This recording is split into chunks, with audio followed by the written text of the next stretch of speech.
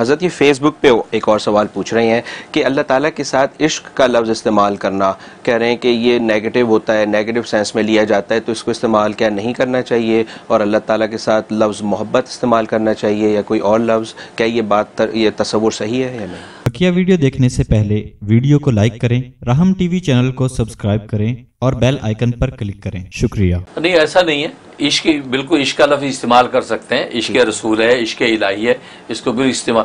असल में एक्सट्रीम मोहब्बत जिसको कहते हैं, वो उसको अशद, कुरान ने उसको अशद मोहब्बत कहा है। अशद युहिबून हुबिल्ला वल्लजीन आमन अशद हुब्बल्ला कुरान ने कहा, युहिबून कि ये कुफार मुशरकिन अपने बुतों से यूँ मोहब्बत करते हैं कि जैसे अल्लाह से मोहब्बत करनी चाहिए थी। और ईमान वालों की शान ये है कि वल्लजीना आमन अशद हुब्बल्ला ईमान वालों की शान ये है कि अल्लाह से अशद मोहब्बत करते हैं। तो अशद मोहब्बत जो है, इसको इश्क कहते हैं। इसको ये इश्क के उनवान में जो इंतहा एक्सट्रीम मोहब्बत, उसके बाद और मोहब्बत का कोई लेवल नहीं है। तो उसको इश्क कहा जाता है। तो लिहाजा इश्क का लफ्ज़ इस्तेमाल करने में कोई मुजाका नहीं है। ये हमारे माहौल मुआशरे में ये लफ्ज़ जो है, एक बदनाम लफ्ज़ हो गया है। तो इसलिए लोग समझते शायद इसका इस्तेमाल सही नहीं है। ऐसा नहीं है बिल्कुल ये इश्क इलाही और इश्क रसूल, ये लफ्ज़ बिल्कुल इस्तेमाल कर सकते हैं। ये तो एक्सट्रीम मोहब्बत का अनुमान है। एक्सट्रीम मोहब्बत का उनवान है। कुरान ने जिसको अशद मोहब्बत कहा है तो उसमें कोई मज़ाक नहीं कर सकते हैं।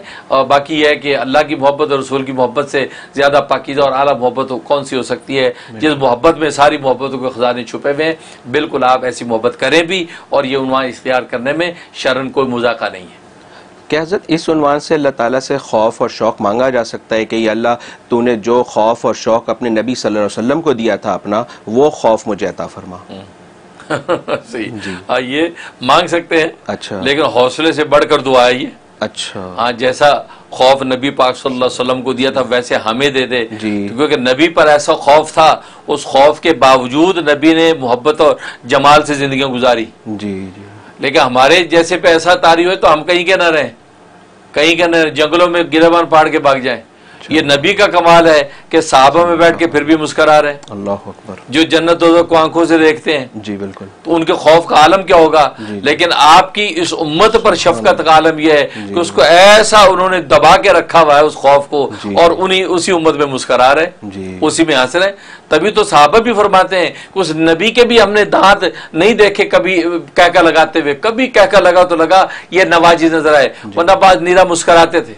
हर वक्त निगाह ज़मीन पर रहती थी और माथे पे तफक्र रहता था। और तफक्र ये कि ये उम्मत किस तरह जन्नत में जाने वाली बन जाए। ये कुफार किस तरह कुफर से छोड़कर खुदा को मानने वाले बन जाए तो वो एक ऐसा क्योंकि जहन्नम जिसको नज़र आ रही हो उनका क्या आलम होगा? तो ये इस ये दुआ करना मुजाका नहीं है। इंसान दुआ कर सकता है लेकिन अल्लाह तबारक वाली बर्तन की जो है वो कहते हैं कैपेसिटी के मुताबिक ही देगा। बिल्कुल उसकी देखो चिड़िया अगर दरिया के किनारे पे जाएगी वो एक ही कतरा पिएगी। हाँ, भैंस जाएगी वो एक मन पानी पिएगी। ऊँट जाएगा तो पाँच मन पानी पिएगा। तो हर बंदा अपने कैपेसिटी के मुताबिक हिस्सा पाता है। ठीक है। मांगने में अर्ज़ नहीं है। चिड़िया मांगे मुझे एक मन पानी पिला या अल्लाह।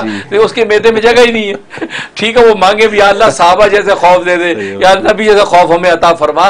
तो मांगने में कोई हर्ज नहीं। इससे अल्लाह खुश होते है। देखो ये बंदा मुझसे कितना डरना चाहता है। लेकिन मिलेगा उतना जितनी हमारी कैपेसिटी है लिहाजा वो बर्दाश्त में रहेगा। माशाल्लाह बहुत खूबसूरत अंदाज से आपने समझाई बात को बहुत दिल खुश हो गया।